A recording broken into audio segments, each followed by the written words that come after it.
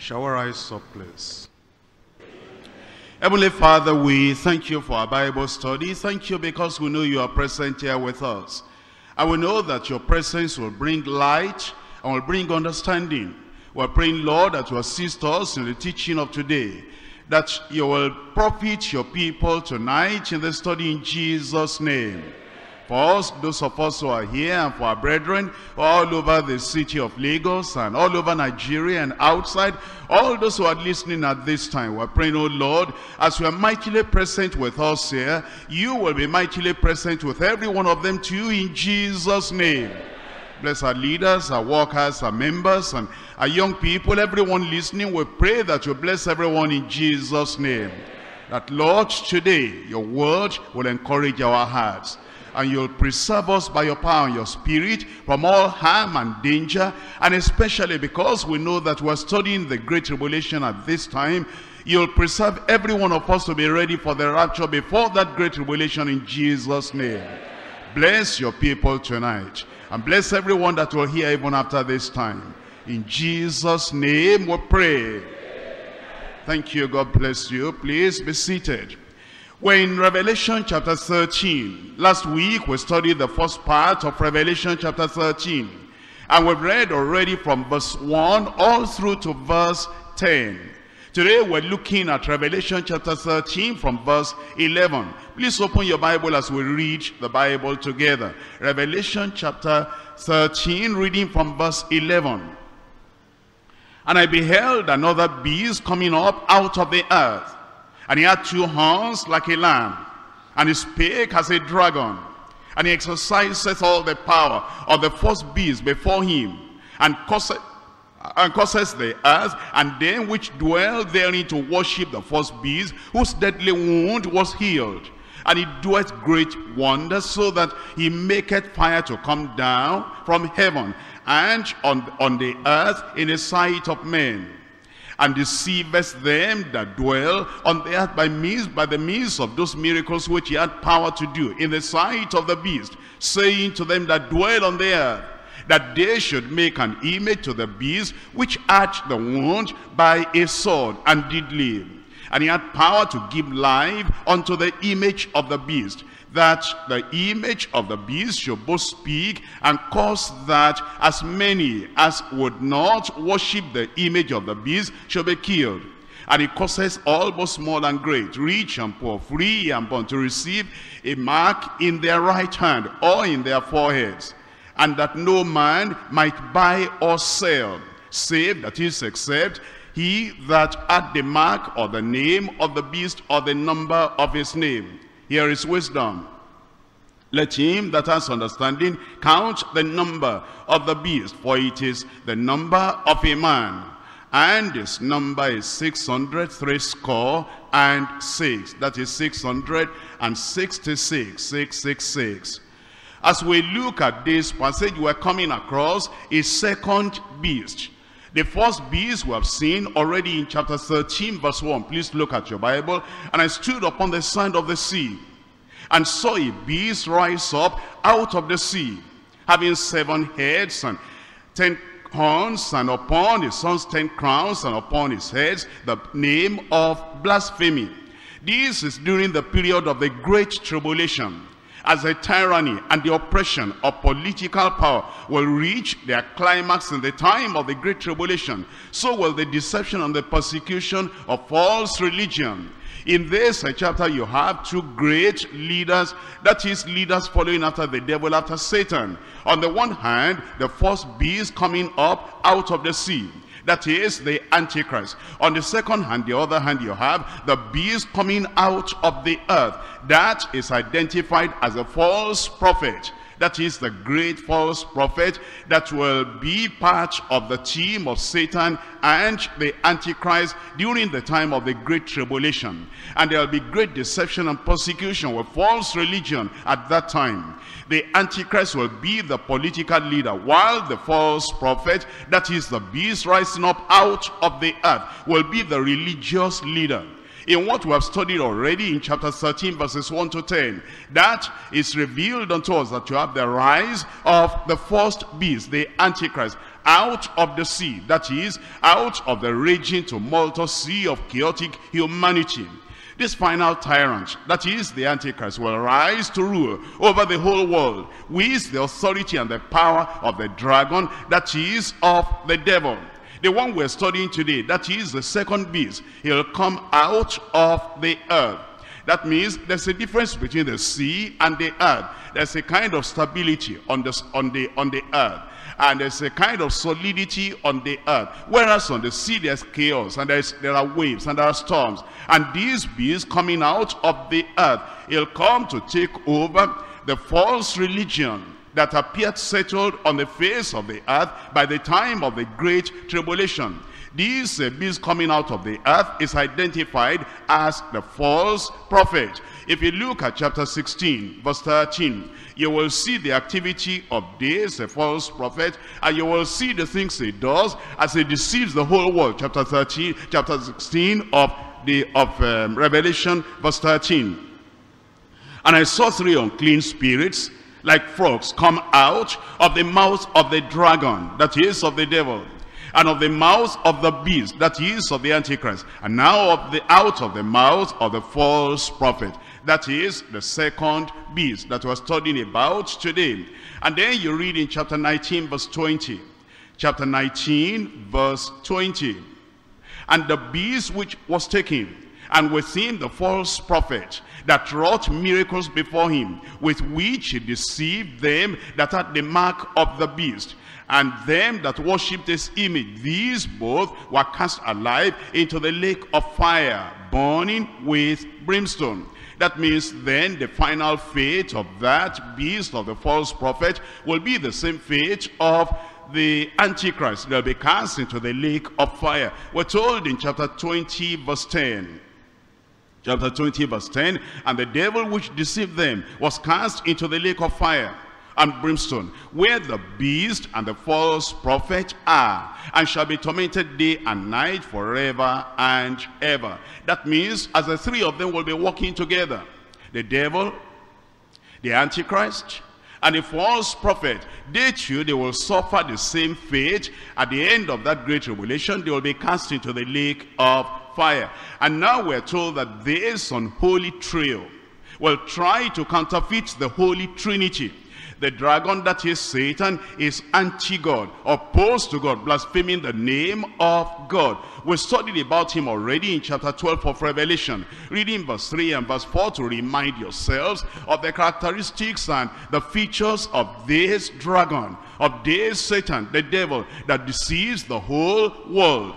Look at Revelation chapter 12, reading verses 3 and 4. And there appeared another wonder in heaven and behold, the great red dragon, having seven heads and ten horns, and seven crowns upon his heads. And he still drew the third part of the stars of heaven, and did cast them to the earth. And the dragon stood before the woman, which was ready to be delivered, for to devour her child as soon as it was born. And then you look at verse 9, which gives you a description and the, and the, and the uh, details of this uh, dragon. And the great uh, dragon was cast out, that old serpent called the devil and Satan, which deceiveth the whole world. And he was cast out of the earth, out, or out into the earth, and his angels were cast out with him. Then we have the first beast, that is the Antichrist, the son of perdition you see the anti the, uh, the devil, the dragon is anti-God. But the beast is antichrist. That he is opposed to the Son of God and is referred to as the son of perdition. If you look at Second Thessalonians chapter 2, Second Thessalonians chapter 2, you will see what the Bible calls him there. In Second Thessalonians chapter 2, looking at verses 3 and 4.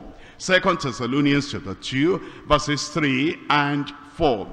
Here we're told, let no man deceive you by any means, for that day shall not come, except there come a falling away false, and that man of sin, the son of perdition. That's the Antichrist, the son of perdition, who opposeth and exalteth himself above all that is called God, or that is worshipped, so that he, as God seated in the temple of God, showing himself that he is God. We have the dragon, the Satan, anti-God. And then you have the Antichrist. That is the beast. He is opposed to Christ. Now you have the third personality. That is the beast. He is anti-spirit. That is, is against and opposed to the Holy Spirit. And tries to counterfeit the work of the Holy Spirit. That we have read already in chapter 13 of Revelation verses 11 all through to 15. And uh, this Satan, the master counterfeiter it will be, its grand purpose and plan will be to deceive all men. And the main function of the Holy Spirit, you know, is to direct praise to the person of the Lord Jesus Christ. In the case of this beast, the second beast coming out of the earth, that is the false prophet, he'll be directing worship of the people to the Antichrist, who is a second person in the unholy trio. And so we understand that during the time of the Great Tribulation, we know that Satan will function a lot. And we also know that uh, the beast, the first beast, will function a lot together with the one we're looking at today, which is the beast out of the very earth. And as we study all this, the Lord is preparing our hearts, telling us and showing us that the time of the Great Tribulation is going to be a terrible time. And it's going to be a very dangerous time. And the people that will be alive at that time, it will, the, the suffering will be very much on them. As we look at the deception of this a false prophet today, the topic of the title we're studying is the deceptive miracle working false prophet. A prophet a false prophet, miracle working false prophet, but all with the intention and the purpose to deceive. The Holy Spirit directs us to all truth, whereas Satan tries to deceive so he can lead us into error. We're dividing the message to three parts today. Number one, the description and the portrait of the false prophet.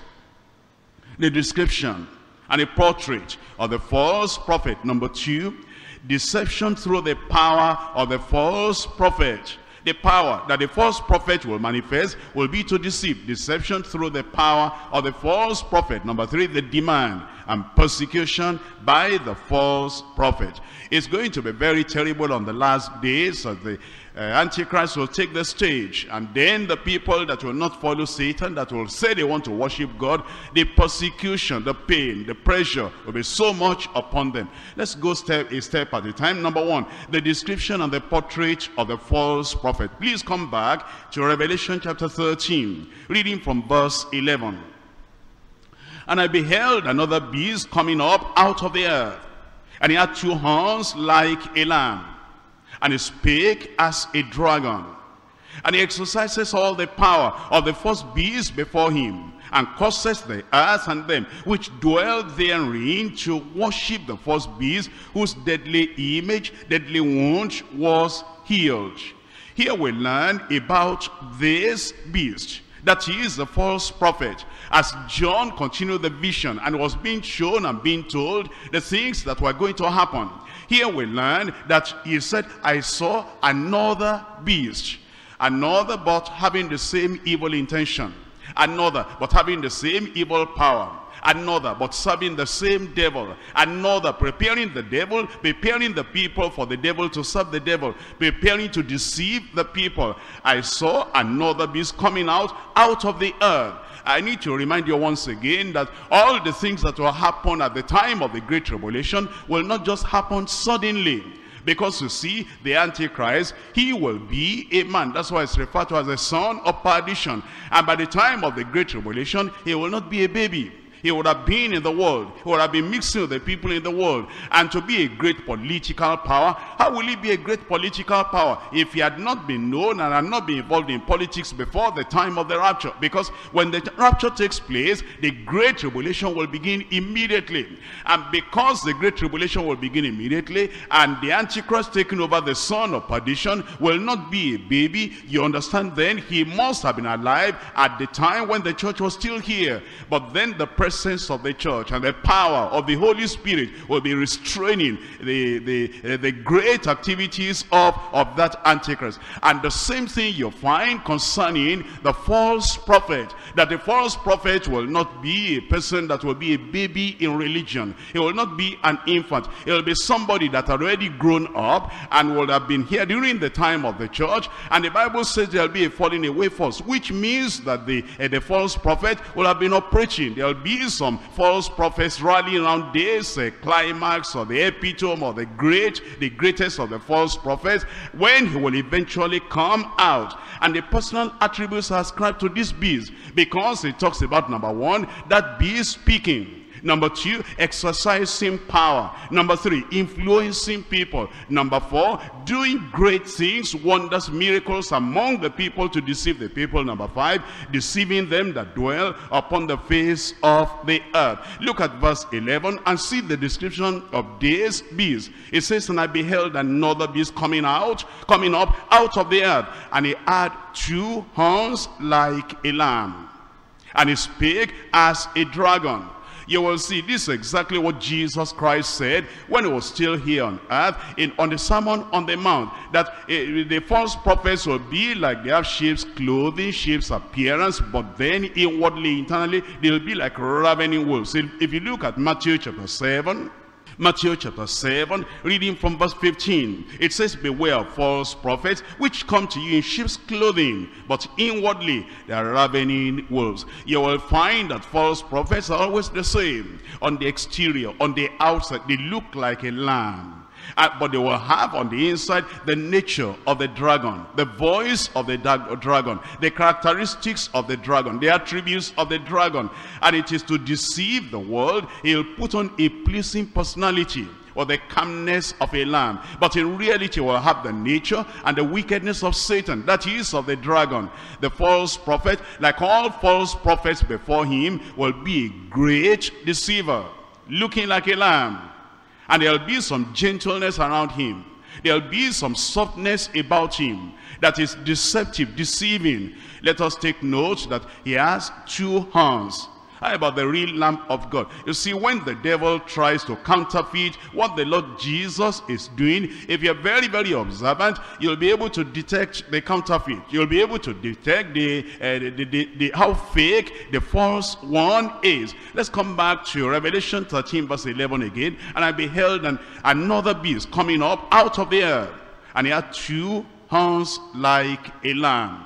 As we think of this uh, false lamb, and then we think of the real lamb, the lamb of God. What how many horns does the lamb of God really is depicted to have? Look at Revelation chapter 5, reading verse 6. And I beheld, and lo, in the midst of the throne and of the four beasts, and in the midst of the elders stood a lamb as each had been slain, having how many horns? Tell me out loud seven horns and seven eyes, which are the seven spirits of God sent forth into all the earth. The real lamb of God has seven horns. And that seven is a number for perfection. It's a number for totality. It's the number for completeness. All power on earth and in heaven is given unto me, the Lord Jesus Christ said. And as Jesus said that, he showed that he has all authority and all power. Not only that he has all knowledge, because that's why it says, having seven eyes. And those seven eyes are the seven complete, uh, meaning completeness of the power, illumination, and enlightenment, and knowledge, and insight of the Holy Spirit within him. As you come back to Revelation chapter 13, and you're looking at verse 11. And it says, I beheld another beast coming up out of the earth.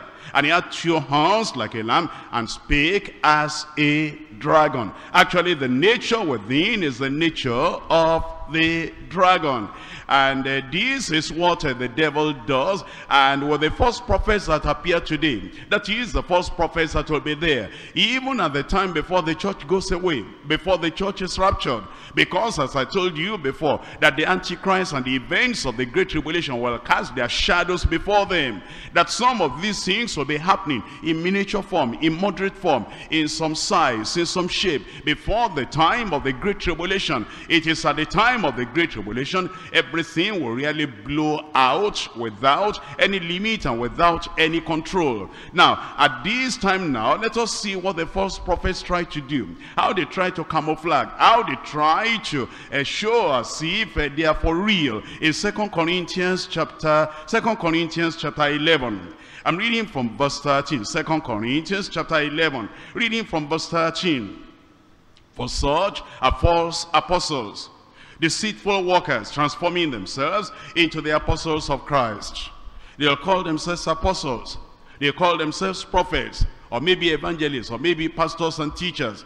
Or maybe they call themselves great, great leaders. But it says that they transform themselves into the apostles of Christ. And then we're told in verse, in verse 14, and no marvel, for Satan himself is transformed into an angel of light.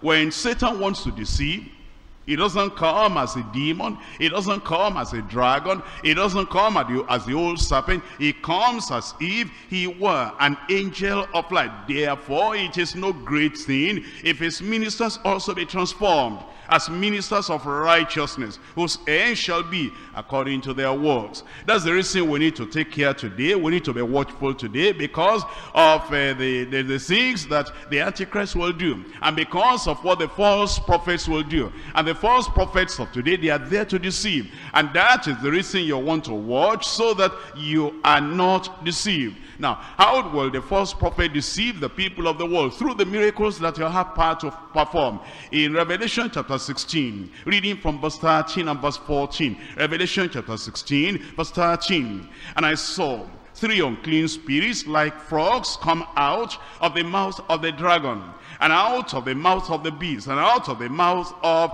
the false prophet. You'll see three personalities mentioned here. The dragon, that's Satan. Then the false beast, that is, uh, that is the Antichrist. And then you have the false prophet himself. And it says it's the same kind of spirit coming out of them. And they're like frogs. And they are unclean. In verse 14, for they are the spirits of devils.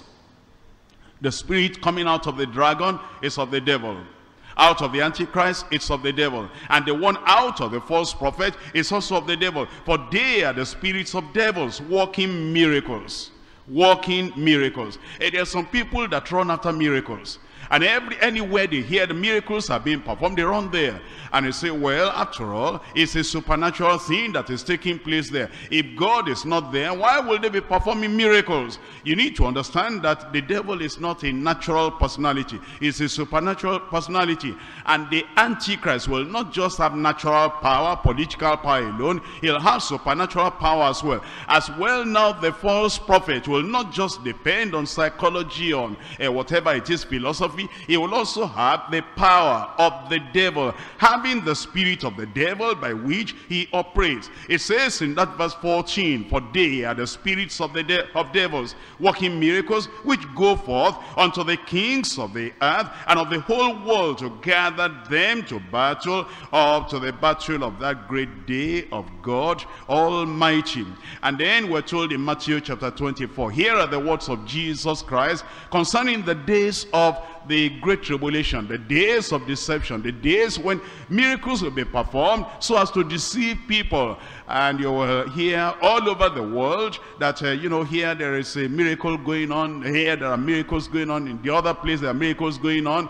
And when you, when you hear about those things and you read them in the newspapers, even the details alone will show that these cannot be of the Spirit of God. Because as you compare them with the scriptures, there's no righteousness there, there's no repentance there, there is no holiness there, there is no exaltation of the Lord Jesus Christ there, and there is no desire to get to heaven there, and there is no study of the Bible, just miracle, miracle. That will show you then that the source of that miracle is not clean. The source is not of God. And because the source is not of God, that's why you're not going to give yourself, give in to them so that you will not be deceived. We're told in Matthew chapter 24, reading from verse 21, For then shall be great tribulation, such as was not since the beginning of the world to this time, no nor ever shall be. These are the words of the Lord Jesus Christ himself. And he says, except those days should be shortened, there should no flesh be saved, but for the elect's sake, those days shall be shortened. And then it says in verse 23, then, if any man shall say unto you, look, here is Christ, or there, believe it not, that is saved. They say, you know, miracles are taking place. Supernatural things are taking place. And because these miracles and supernatural things are taking place, let's go there. Christ is there. And the followers of Christ are there. And the ministers of Christ are there. It says, don't listen to them. Don't follow them. It will be very serious at the time of the Great Tribulation, and it is still very serious today. As many people today are running about, I've heard there's a miracle taking place in the other place, and some people are going to be inviting you. I've gone there and see me now. See what I've got. Business has changed. My wife now is uh, carrying a baby, and this is not taking place. This is not taking place. It says, don't go. Don't run after miracles. What's the source of the miracle? Who are the originators of those miracles? Who are the people perpetrating those miracles? Who are the people working those miracles? Is that the study of the word of God?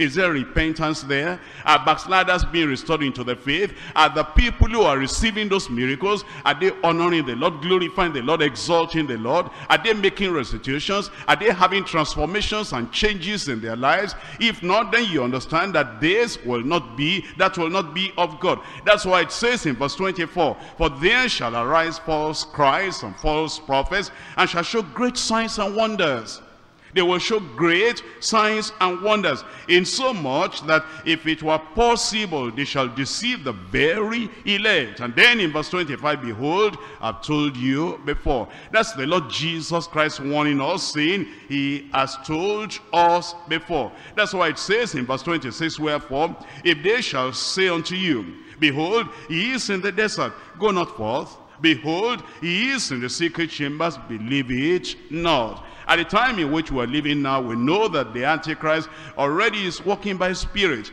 and is deceiving many, many people. I pray that we will not be deceived in Jesus' name. We're told in First John chapter 2, First John chapter 2, looking at verse 18. It says, little children, it's the last time.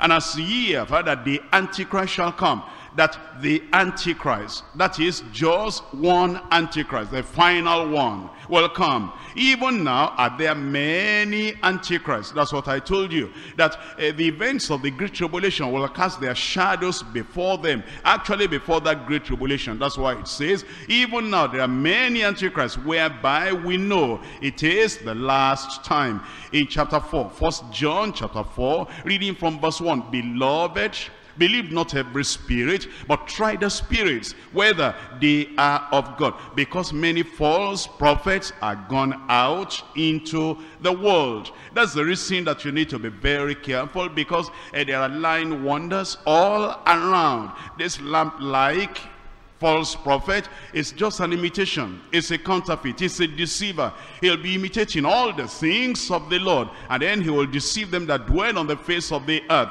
by the means of those miracles that he has power to do.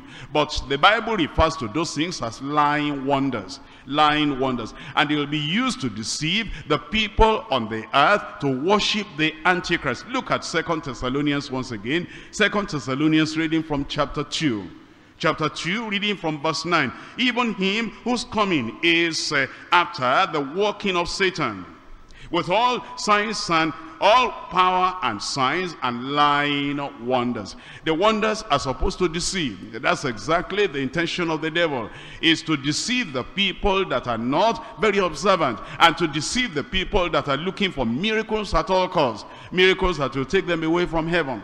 Miracles that will attach them to the devil miracles that will destroy their soul, miracles that will lead them into hell. The people that are looking for miracles, miracles, miracles at all costs, and they will not examine the source and the origin of the miracle, they will go to a direction of perishing. Because eventually we're told, all those who are influenced by those miracles of the false prophets, they'll be doomed, they will be damned, and they'll be sent to the lake of fire forever and ever. Look at um, Revelation chapter 14.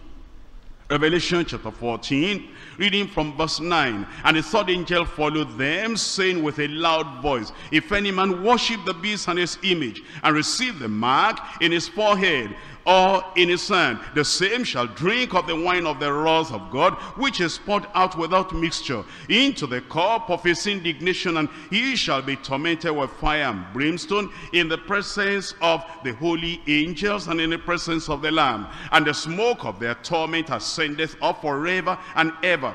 And they have no rest day nor night to worship the beast and his image, and whosoever receiveth the mark of his name. Before I go away from that uh, first point, let's just remind ourselves that uh, the, the things that uh, the devil does, and the things that uh, the Antichrist will do, and the things that the false prophets will do, and the false prophets of today, the danger of deception, the danger of deception. Number one, there is delusion. Uh, what that means is that when the devil begins to do those things, uh, through the false prophets, if you are staying near them, and you are staying close to them, the first thing will be delusion. You'll be saying, but oh, what's, what's wrong in this?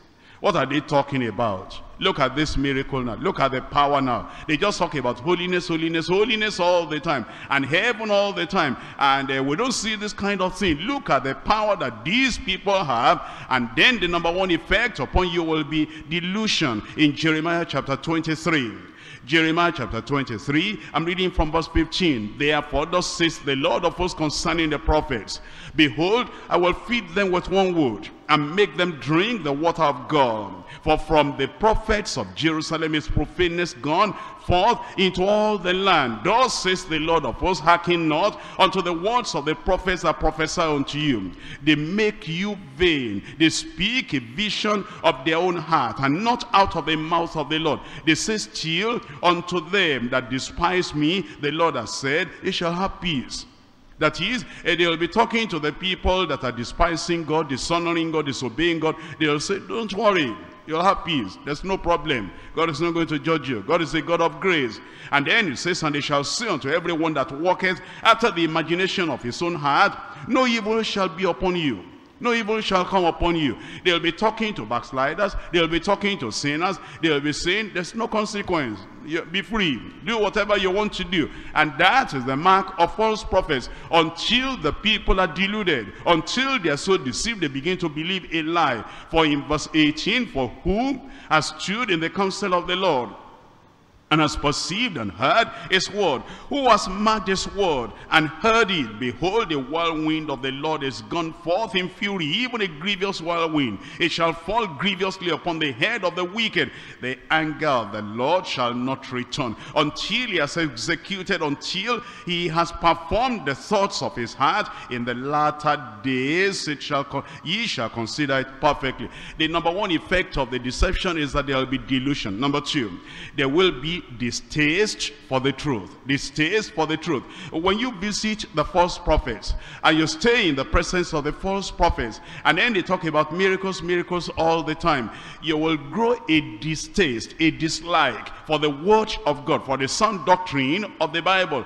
When we preach a doctrine, when we preach the truth of the word of God, when we preach the holiness without which no man shall see the Lord, you'll not be interested anymore. Your mind is already turned to another thing. That's what we're told in Second Timothy chapter, chapter 4. 2 Timothy chapter 4, verses 3 and 4. For the time will come when they will not endure sound doctrine.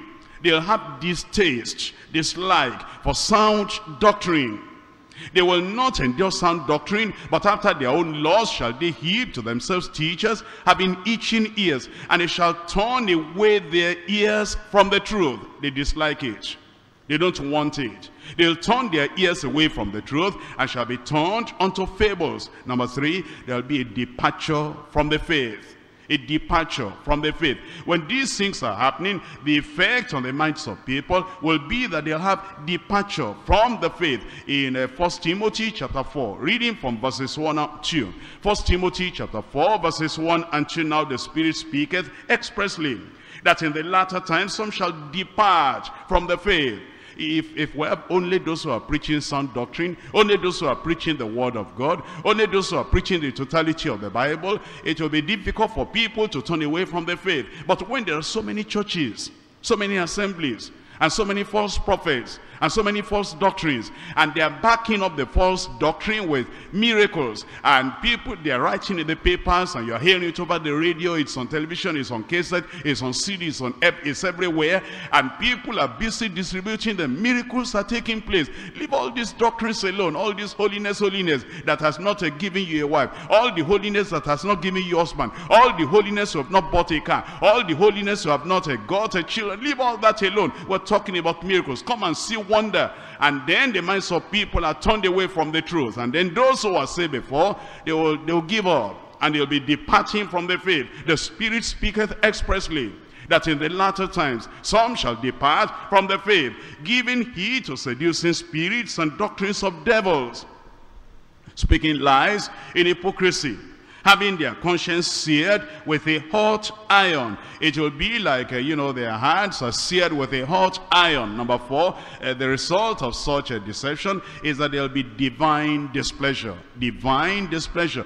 The Lord will be against them. And the Lord will show his fury, his anger, his wrath, his indignation, his judgment against uh, such people and all the people that run after them. Jeremiah chapter 23 again. In Jeremiah chapter 23, reading from verse 25.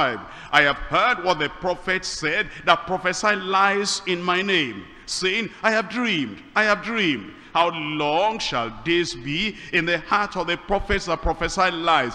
Yea, they are prophets of the deceit of their own heart, which think to cause my people to forget my name by their dreams.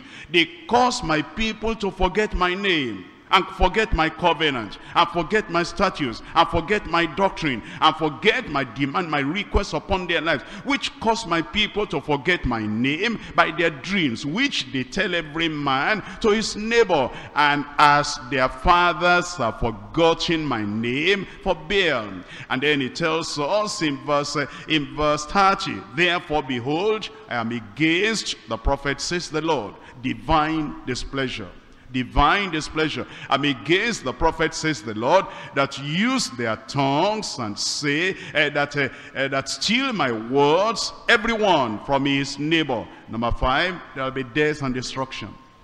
Death and destruction.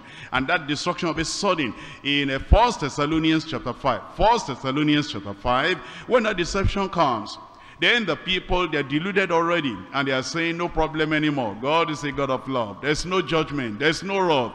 And they're talking about Antichrist and they're talking about this and that. Is this one Antichrist the one working miracle?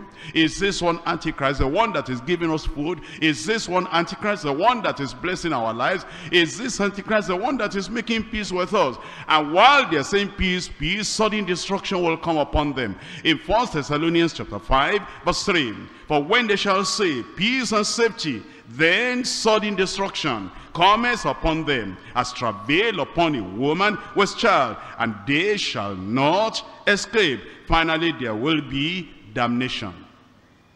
Damnation.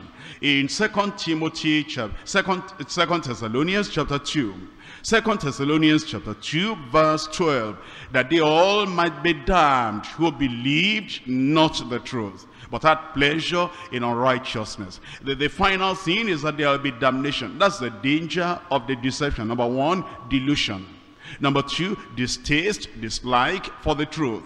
Number three, departure from the faith. Number four, divine displeasure. Number five, death and destruction. Number six, damnation. Uh, that's the reason why you need to be watchful. It says here that they all might be damned. The false prophets and the people that follow them, they are the people to be damned. It is not only the false prophet, the climax and the greatest of the false prophets, the one that is still to come, not only that one that will be cast into the lake of fire, but all the false prophets that ever deceived anyone into error, they will be cast into the lake of fire too, because they'll have damnation on the final day. Second Peter chapter 2, reading from verse 1. Second Peter chapter 2 from verse 1. But there were false prophets among the people, even as there shall be false teachers among you. There shall be false teachers among you. That's why you need to take care in the districts. You need to take care in your community.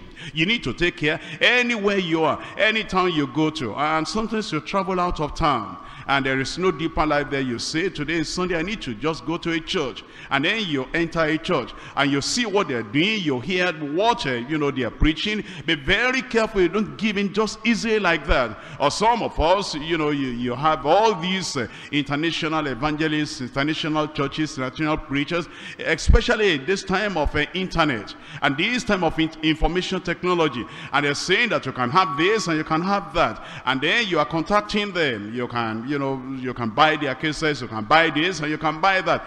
And eventually you are being deceived and being sucked into those things. And they'll be inviting you to international gatherings, international meetings. And then they rope you in. And by the time you know that you're in the midst of false prophets and you are knee deep and shoulder and head and every everything inside the false doctrine, you might be counting the cost. It's difficult for you to come out now because you spent so much money there and they have promised you quite a lot. And if you're back out now, are you not going to miss what you have what they have promised you already? That's why you need to be very careful. There shall be false teachers, false teachers among you, and they'll bring in damnable heresies, even denying the Lord that bought them, and bring upon themselves swift destruction. And many shall follow their pernicious ways, uh, by means, by reason of whom the way of truth shall be evil spoken of, and through covetousness shall they with feigned words make merchandise of you, whose judgment now of a long time lingereth not, and their damnation,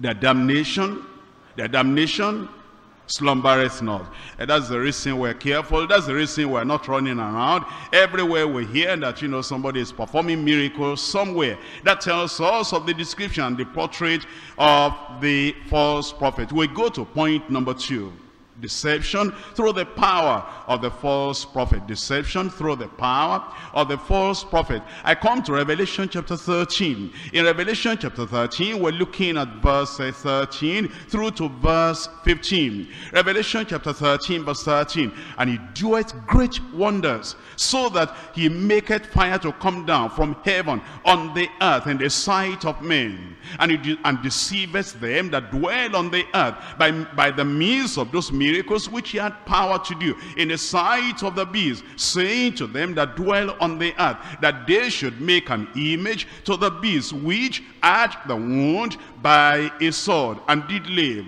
And he had power to give life unto the image of the beast, that the image of the beast should both speak and cause that and, and cause that as many as would not worship the image of the beast should be killed.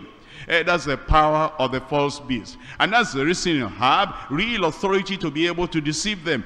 These end-time false prophet with a composite picture of a lamb and dragon combined together, having the appearance of a lamb and the nature and the power of the dragon. We're told, number one, he exercises all the power of the Antichrist all the power of the first beast. Number two, he had power to give life to the image of the beast. When people see that, they're going to be saying, if you say that this is not of God, see the power of this, uh, of this prophet, of this great man. This is the great power of God. See, he's even able to give life unto image, the image of, of the beast. And then number three, he'll have power to do uh, miracles and wonders in the sight of the beast. Number four, he will also do great wonders so that he will make fire to come down from heaven on the earth in the sight of the people. But the purpose of the miracles will be not to deliver people from the judgment of God, not to lead people to repentance, and it is not to lead people to experience of salvation or the experience of sanctification. The purpose of the miracle is not to be, make us be like Christ. The purpose of the miracle is not to exalt the Lord Almighty. The purpose of the miracle will not be to worship the Lord in truth and in spirit. The purpose of the miracle will be to deceive people and lead them to eternal suffering. He will deceive them that dwell on the face of the earth and he will cause the earth and them that dwell therein to worship the first beast. The source of the power of the false prophet is the dragon. Because that's what we're told in that passage we have read already. That is, it is the devil supplying the power to this false prophet to, to work the miracles. And many times uh, you will not know. Even the false prophets of today, the ones that you hear are not just uh, using verbal things or just the word uh, to deceive people. Not just that they are clever in speaking as orators, but they really have some kind of power. And then the people that go there, you know, they're putting pressure upon you all the time. It's maybe your husband has gone there and your husband is putting pressure on you. If you don't follow me to this place, I'm telling you, this manners is a great power of God. I've never seen such miracle in my life before. I watched them. I was there. I got near. I went near their platform, near their altar, and I saw the miracles like these with my naked eyes. And, uh, you know, the way they catch the witches and the wizards and the way they point them out and those people roll on the ground and then they urinate on themselves right there in the public and they tear their clothes right there in the public. When the power of God begins to work, my wife, let us go. And then you say, no, I will not go. And eventually your husband may turn from gentleness to violence. And it says, if you don't follow me to this place, there'll be no peace in this house. If you don't follow me to this place, it is because you are afraid you're a witch. And you are the one disturbing the family and you are disturbing our business. That's the reason you're afraid you want to get there because you know that if you go there, they're going to spot you out to say, I'm sorry, I don't want to go there. Uh, this is false. It is not based on the Holy Spirit, on the power of the Lord Jesus Christ. How do you know? How do you know? You must follow me there. And eventually, if you are not careful, if you you go there and then they catch you and then you are not able to come back again and then you're hooked there and you are held down there and then you begin to drink their water and you begin to rub with their oil and you begin to repeat their things and you begin to carry their pictures about and you begin to read their materials and you begin to pray with their prayer book. Already you are gone. And for you to come back it might be another miracle to be able to bring you back. The purpose of the false prophet of that day that is of the time of the great tribulation is not different from the purpose of the false prophets of of today, it is to make people slaves of Satan.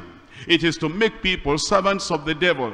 It is to make people the worshippers of the Antichrist. And then they will take the mark of the beast, of the beast, and they become irredeemable. It will be impossible to redeem them, thereby making them to suffer eternal punishment with Satan in hellfire forever and ever. And as you look at this, you understand, we've read it already, but let's, let's read it again. In Revelation chapter 16, verse 13, it says, And I saw three unclean spirits like frogs come out of the mouth of the dragon, and of the mouth of the beast, and of the mouth of the false prophet.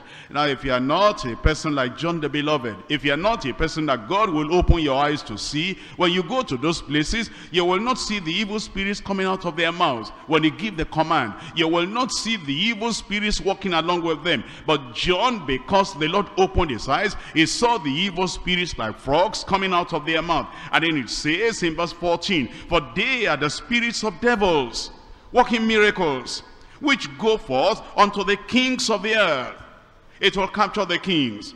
And sometimes today you'll find that a king or a chief or a political leader might go to some of these meetings. And then they will go there and then uh, the newspaper will broadcast everything, publish everything and say, you know, great man of great man in society, he was there. And the director of this particular company is gone there too. And the chief and the obas and the obis and the kings and the rulers, they've gone there too. And those people too, they'll be giving testimonies and they allow their testimonies to be written in the papers.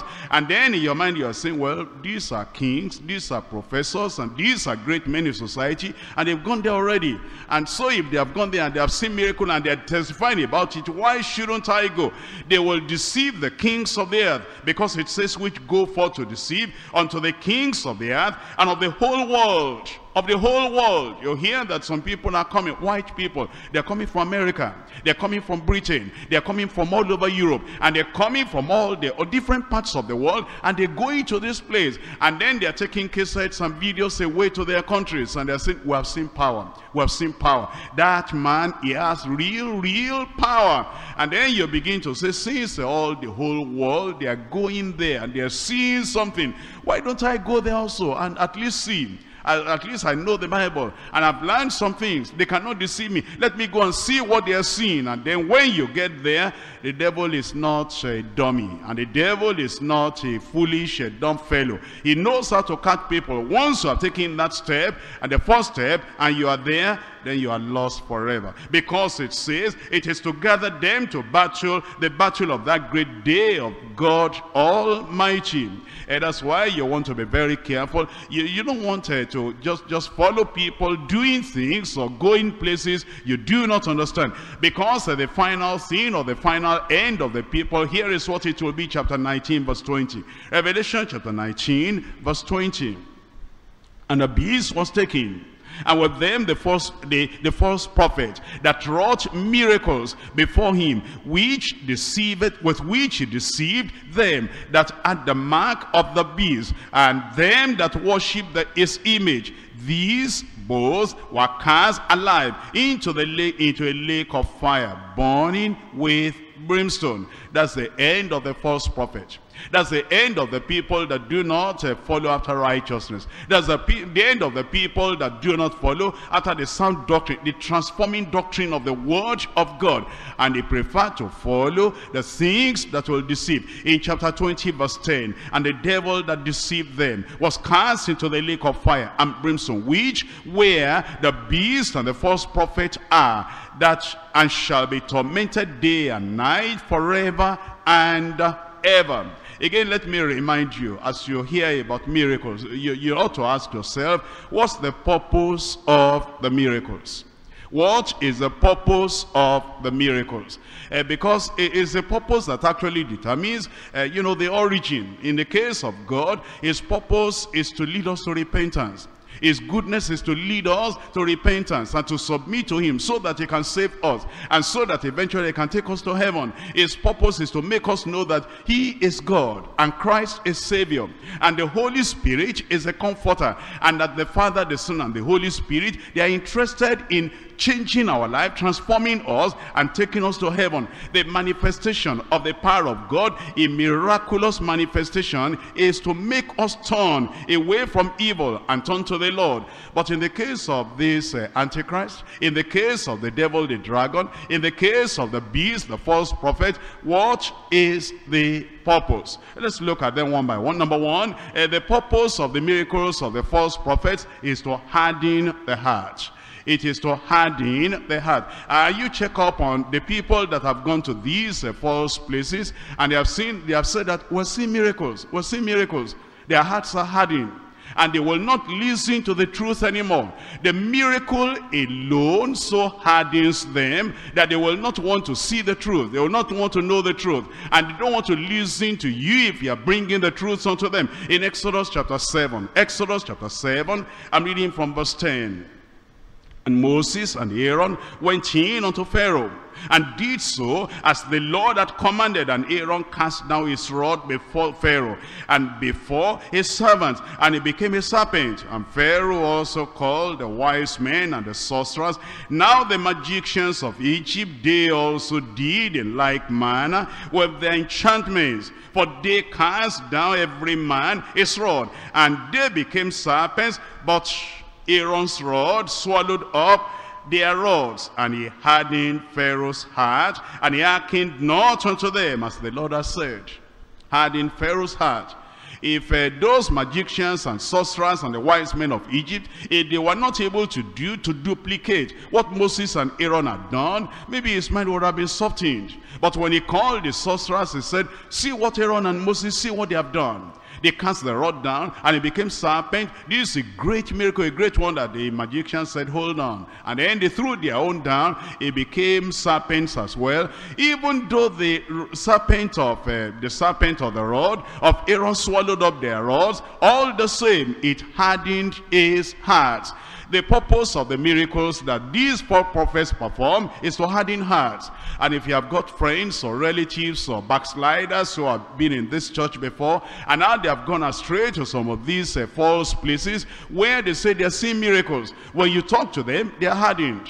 As you talk about repentance, you talk about restitution, you talk about righteousness, you talk about holiness, they'll be talking about the miracles they see over there. They say, well, don't commit sin. Don't, uh, don't sin against God with your mouth. You have not been there. I have been there. I see what is happening there. And don't tell me that it's only in deeper life you are hearing the word of God. You have Bible, you have doctrine, you have everything. But look at the miracles that are taking place.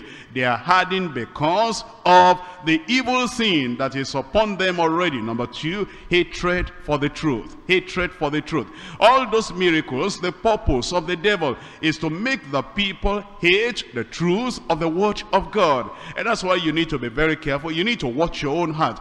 As you are hearing the word of God, if you are no more eager like you were reading the Bible, reading the tracts, reading the the scripture booklet and reading the books that are being published and hearing the cases and you you just you say just just put them aside put them aside i i need other things i want other things if you are having hatred for the truth it is the impact and the effect of the deception of the miracles of the false prophets. In Second Thessalonians again, I'm reading from chapter 2 verse 9. Second Thessalonians chapter 2 verse 9. Even him who's coming is after the working of Satan with all power and signs and lying wonders and with all deceivableness of unrighteousness in them that perish because they receive not the love for the truth, the love of the truth that they might be saved. The love of the truth will no more be in their heart. It will be hatred for the truth. And for this cause God shall send them strong delusion that they should believe a lie,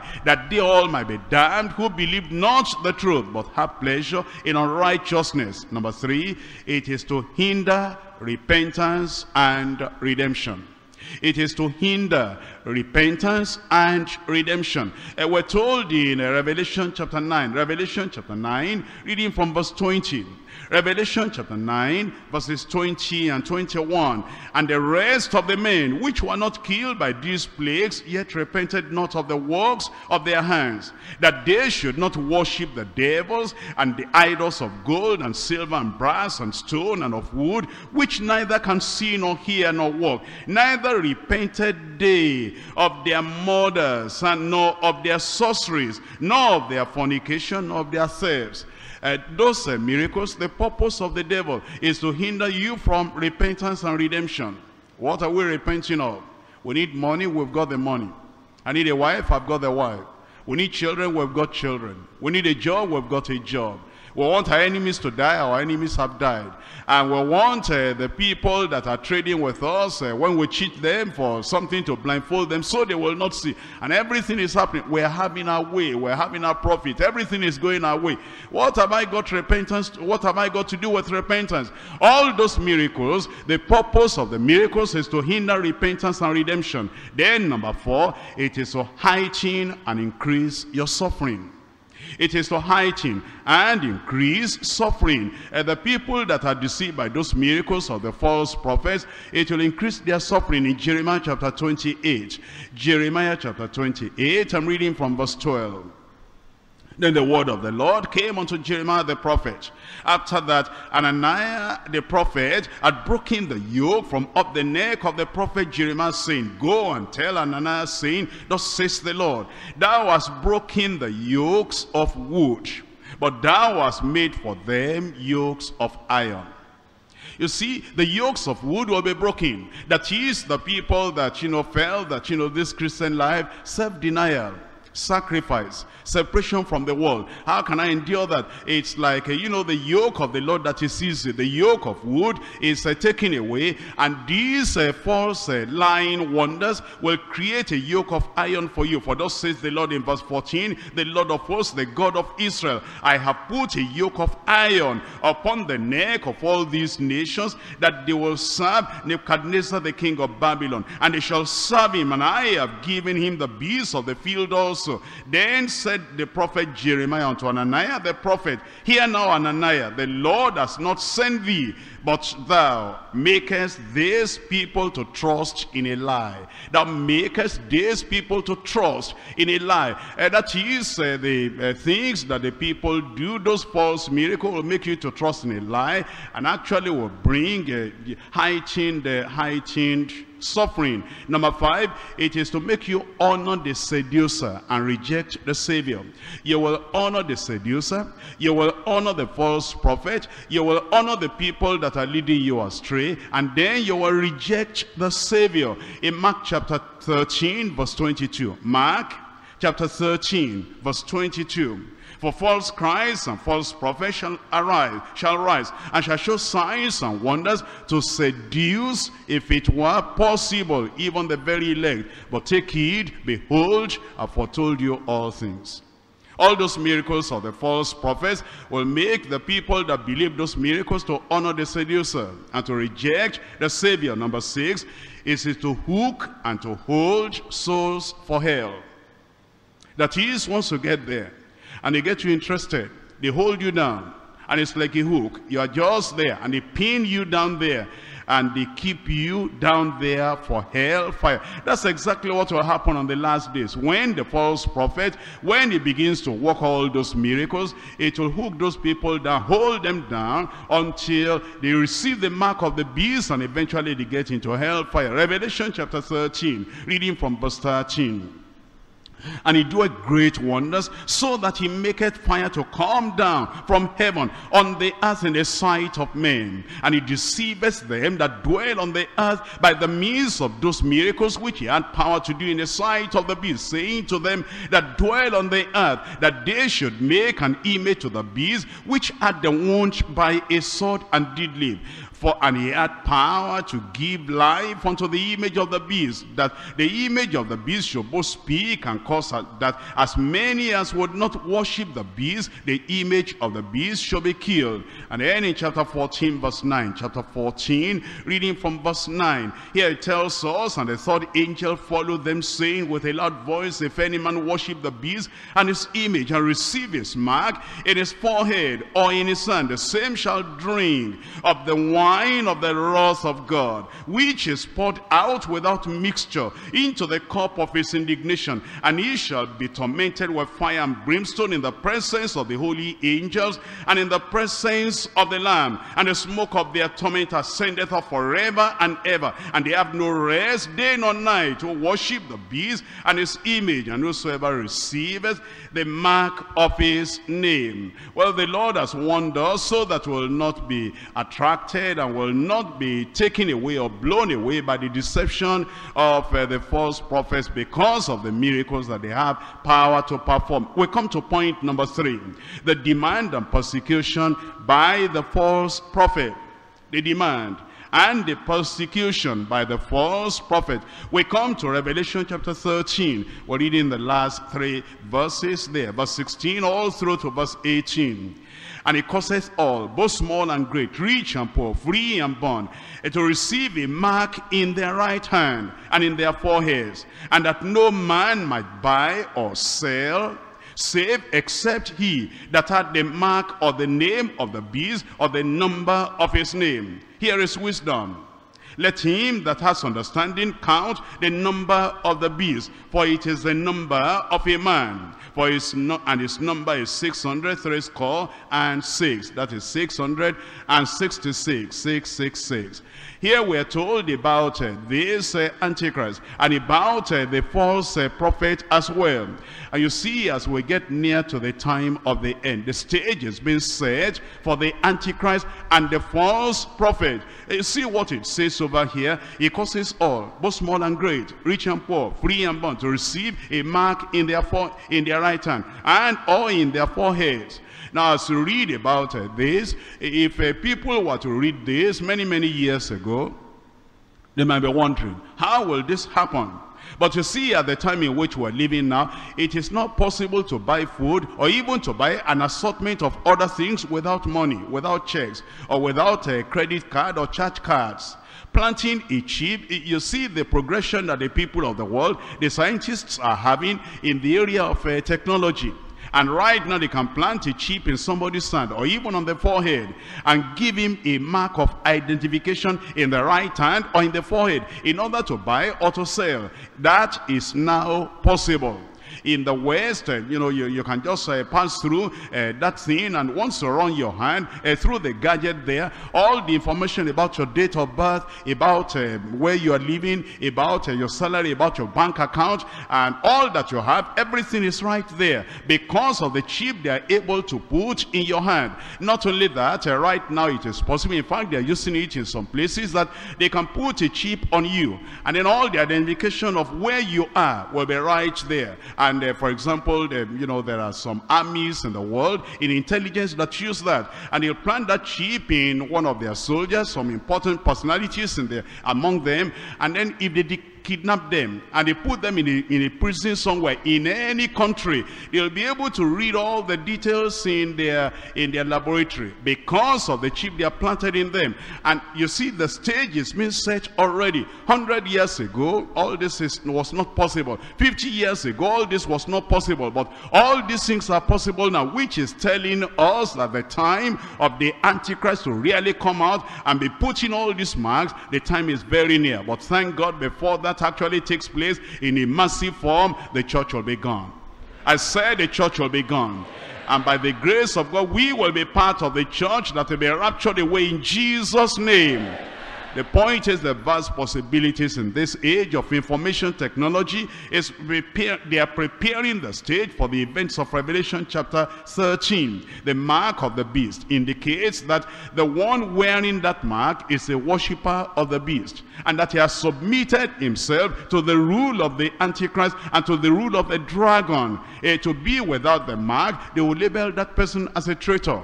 How is it everybody is falling down? How is it everybody is submitting? How is it everybody is cooperating and you are not cooperating? And the punishment will be that you'll not be able to buy or sell except you have the mark of the beast or the mark of the antichrist and uh, because of that getting food that will be difficult having light, paying for your light, that will be difficult.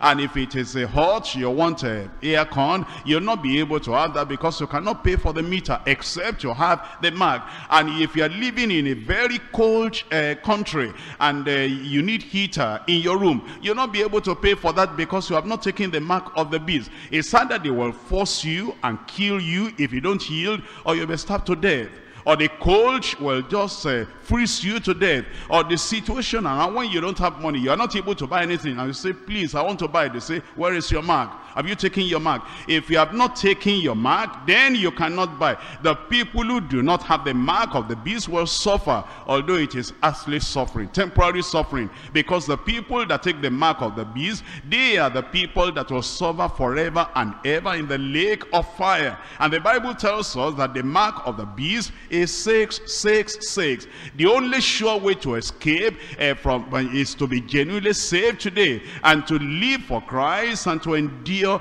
until the very end. I've read it to you, but let me read it again in chapter 14, reading from verse 9. If anybody will take the mark of the beast, the, uh, what will happen to that person? And the, the destruction and the death and the damnation that will come upon that person. Chapter 14, verse 9. And they saw the angel followed them, saying with a loud voice, if any man, if any man worship the beast or his image and receive the mark on his forehead or his hand, the same shall drink of the wine of the wrath of God, which is poured out without mixture into the cup of his indignation. Now, here we are. Thank God that we read the Bible. Thank God that we know the Bible. Ask the average church goer today.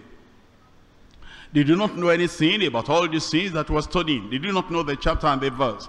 And they do not know the consequence of taking the mark of the beast. Do you know that after the rapture has taken place and the saints of God have gone, there will be many religious people still left behind here. And they have never heard, they have never read the book of Revelation. And they do not know the things that will actually happen at the time of the Great Tribulation. They'll just be hearing over the radio or over their television or see it over the internet as they browse all these things. And they'll be hearing hearing there's a world leader now, he's making peace with Israel, he's making peace in the Middle East, he's joining Palestine and Israel together, and it's now successful. All the uh, peace uh, deal that they have been trying to make and the treaties that never worked, this man now as a political leader has come, he's united everybody together. They are now sitting on the table of brotherhood. There is peace all over the world. the Economy is improving also. And every country is going to have their part in this economy. And then there's announcement. If you want to buy now, they want to centralize all the commercial things and all the financial things and all the banking system. They want to centralize everything. You will go to this location, this location to go and take a mark. And when you take the mark, it will, it will free you from poverty. It will free you from any need. And therefore, you, you go there. There will be no work all throughout this week. We're going to give chance to everybody now because you need to register. Everybody needs to register. If your children are going to school, you are going to pay the school fees of your children. Your children will have to show their own mark and the parents that are going to pay their school fees will have to show their own mark. If your children are going to get visa, they are going to travel abroad, they are going to have scholarships. Scholarship is now available. You can study in Israel, you can study in Europe, you can study in America, you can study anywhere. And then all the poor countries of the world, you can send your people to the places they will study.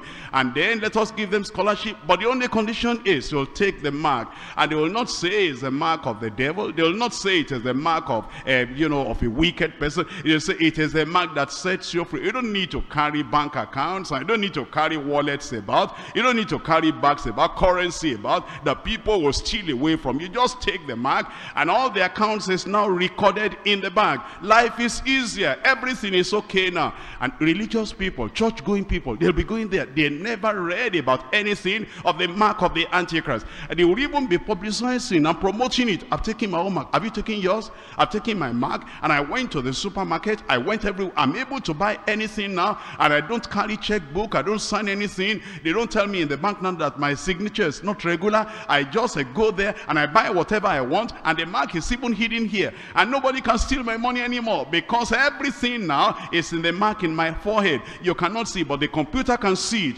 it. They'll be rejoicing in their destruction. They'll be rejoicing in their perdition. I pray you will not be here at that time in Jesus' name.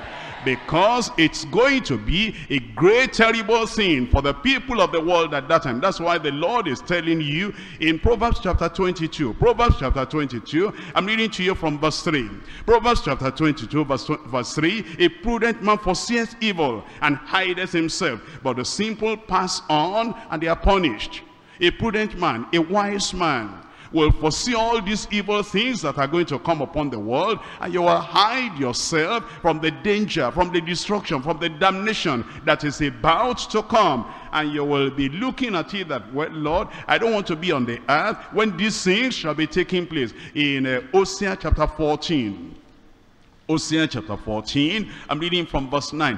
Hosea chapter 14, verse 9 uh, it tells us uh, here about the wisdom that we need to have. Who is wise? And he shall understand these things. Only the wise people who want to escape hell, who want to escape the judgment of God, will understand these things. And prudent, eh, prudent, and he shall know them. For the ways of the Lord are right, and the just shall walk in them. But the transgressors shall fall therein. The people that are still playing with sin, and they're living in sin. And all these warnings the Bible is the giving giving, is giving us, they're not taking anything to heart. They're just living like, like their lives like yesterday, like last week, like last month. And they may hear the word of God, but after hearing the word of God, it's like they never had anything. It's like they never had that the rapture can take, can take place anytime. And they're not making preparation. But the wise are saying, huh, with all the things we see, with all the things we hear, and the stage is being set for the Antichrist, I'm going to get ready, I'm going to prepare myself.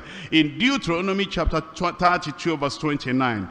Deuteronomy chapter 32 verse 29. Oh, that they were wise that they understood this, that they would consider their latter end. The wisdom the Lord is calling us to, to today is that we'll consider our latter end. Because all these things were saying, it is coming, it is coming, it is coming. One day it will come. The rapture will take place. The church will be gone. And then the great tribulation will begin. What are you going to do if you are not prepared at that time? And uh, in uh, Matthew chapter 24, Matthew chapter 24, reading from verse 12 and from verse 13. Matthew chapter 24 verses 12 and 13. And because iniquity shall abound, the love of many shall wax cold. You know, when you first became a Christian, you heard about the coming of the Lord. You were zealous. You were on fire. When you first got converted, you heard about the rapture, about the resurrection of the dead, about the great tribulation, about the suffering of the people that are going to be left behind. You prayed with zeal. You prayed with earnestness. You prayed with fervency. You do not want to be left behind. You went back home. You told your children, children, I don't want to give back to children and throw them to the devil. I don't want to give back to children and then they will be the children of hell. I and my, I and my children, we're going to serve the Lord. Father, mother, and children children, you held hands together, you prayed, and your children prayed. You remember those children, how they prayed at the age of 8, at the age of 9, at the age of 13, how they prayed and they cried. And then you got uh, the, the, maybe the cassette or the film of uh, Burning Hell, and you showed it in, uh, you know, in the district. And the people prayed and they cried. And there was zeal and enthusiasm, evangelism, holiness, restitution. And they began to confess to, to one another, I'm sorry, my brother, I don't know. The rapture may take place before wake up tomorrow. I'm sorry for what I did the other time, what I said the other time. I'm sorry, please forgive me. And we cleaned up our lives. And now after some years, and the Lord Jesus has not come, and he has given us some time to evangelize more, and some time to pray more, and some time to seek the face of the Lord more. Now we relax and the love of many shall wax cold. Then it says, but he that shall endure unto the end, the same shall be saved at the time of the end, when the Lord is about to come, the devil will be causing the spirit of slumber in the men in many people that have known the lord before the spirit of carelessness and the spirit of talkativeness and the spirit of prayerlessness will be just coming upon many people that were fervent before and the spirit of money making money making covetousness what they are running after money money money women and wife and husband and children and traveling and this and that. That's what they'll be running after. And then the Spirit is just blowing the cold water on them and the, the cold breeze on them so that they will sleep off and they will not remember when the Lord will come. But for us, God will wake us up. And God will keep us watching and praying so that that day will not come upon us on our way in Jesus' name. You see, the devil, he will use some things. Number one, he will use falsehood. At the time of the Great Tribulation, and even before the Great Tribulation, number one, he will use falsehood, deceiving people. And uh, they are not the kind of lies you can easily tell. I don't know whether some people have ever deceived you before. And he came to you and told you a story, and the story looked believable.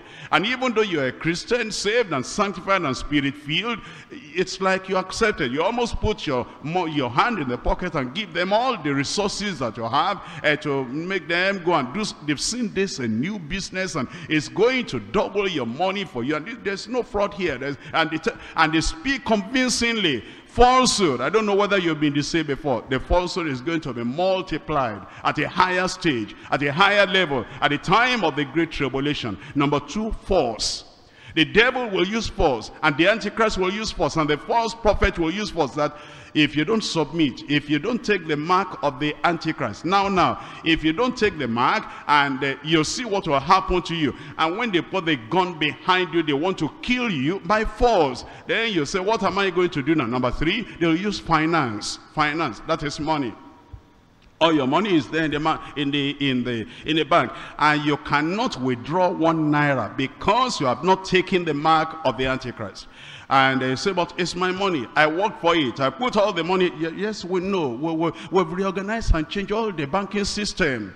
And if you're going to withdraw money now, you have to, we have to know. And all we're, we're, we're getting rid of paper, paper, paper. You know, all these files and files we used to work with in the 1990 something, 2002, 2004. uh, paperwork was too much. Now we're dealing with technology. Now we're dealing with computer. And the way we operate in the bank now, you take the mark and then we sit in your hand or in your forehead and then you're able to withdraw your money. They will use your, they will use finance to tie you down that you will not be able to withdraw even the money that you have. What are you going to do? Well, the falsehood and the false and the finance. Number four is famine famine because there'll be no food to eat and because there's no food to eat, there'll be a local famine in your own family. And your children will be crying and say, Daddy, you don't love us anymore. Mommy, you don't love us anymore. You're, you're talking about Bible, talking about Revelation chapter 13. Because of that, you are not going to give us food. Everybody is hungry in this family, and you will not go and take uh, the mark so that you say you have money in the bank. Where is the money? Go and get the money. When all your children are crying and there is no food and there is famine, what are you going to do? Will you not eventually surrender and submit? Number five, they use fear. They use fear because there'll be people going around and campaigning for the devil and they'll be campaigning for the antichrist. Have you taken your mark?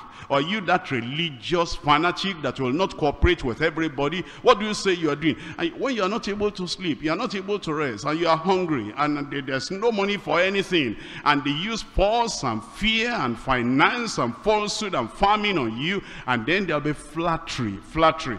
They will, you know, the Antichrist will come over the radio and flatter the people that have submitted and praise them, and then the people that have not submitted, those are the traitors, those are the stubborn ones, and those are the enemies of society.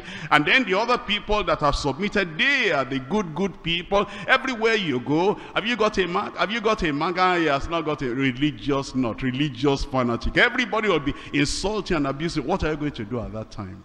Are you going to be able to stand at that time? This is the time to worship the Lord. And the Lord is telling us that he's coming soon. And because he's coming soon, he says, He that shall endure to the end, the same shall be saved. And that's why I'm pleading with you. Don't worry about the little suffering that you are going through today. They are nothing compared with what will happen at the time of the great tribulation. My prayer for you is that you'll be ready when the Lord will come. You will be ready when the Lord will come. You get saved and you get sanctified, you get holy, and then without holiness, no man shall see the Lord. Whatever the persecution, whatever the problem today, you say, Lord, I will stand. Lord, I will stand. The devil may do his worst today. It's nothing compared with what is going to happen at the time of the great tribulation. But thank God the grace of God is sufficient for you. I said the grace of God is sufficient for you. Why don't you stand up and say, Lord, I don't want to be here at the time of the great tribulation. I don't want to be here at the time when they're using force and they're using falsehood and they're using fear and they're using finance and they're using farming and they're using flattery and they're compelling people to worship the devil and then taking them to hell. I don't want to be here at that time. I want to get saved today. I want to remain saved today and I want to remain sanctified today. And it's not only me with my wife, with my husband, with my children. Where will you be when all these things will be taking place? When the church is raptured and the church is taken to heaven, where will you be? Husband, where will you be? Wife, where will you be? Children, where will you be? Parents, where will you be? At that time when the devil will be on stage, when the devil will be ruling and reigning over everybody, will you be among the number that have really known the Lord, that are serving the Lord, among the number that are actually worshiping the Lord today? And then the Lord will look at you when he comes and will say, that's one of my people, that's one of my people, and then he will take you to heaven. All the people that miss the rapture, there is no hope for them. There is no hope for anybody here. If you miss the rapture, the terrible tribulation that will come, the persecution that will come, and all the pressure of the world that will come. Are you going to escape on that day? If you are going to escape, today is that day. If you are going to get saved, Today is that day. If you're going to commit yourself to the Lord, today is that day. If you're going to ask for grace to continue to the very end, today is that day. Remember, the love of many shall wax cold